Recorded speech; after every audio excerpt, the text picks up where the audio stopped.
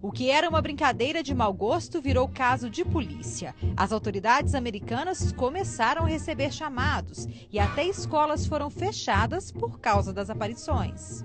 Então começou uma nova onda perigosa. Grupos se juntaram para caçar palhaços. Dezenas de pessoas foram presas e logo a moda se espalhou.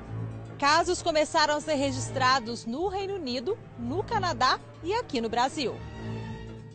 Este vídeo feito com um celular mostra um militar de Campo Belo, no sul de Minas Gerais, usando a máscara de um palhaço assustador. As imagens ainda mostram um rapaz dançando com um bastão nas mãos.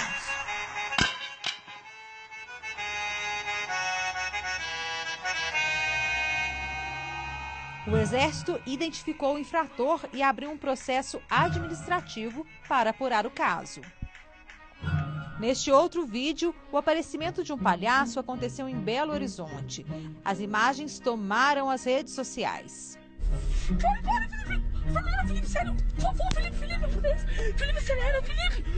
Mas afinal, andar mascarado por aí, assustando as pessoas, é considerado crime?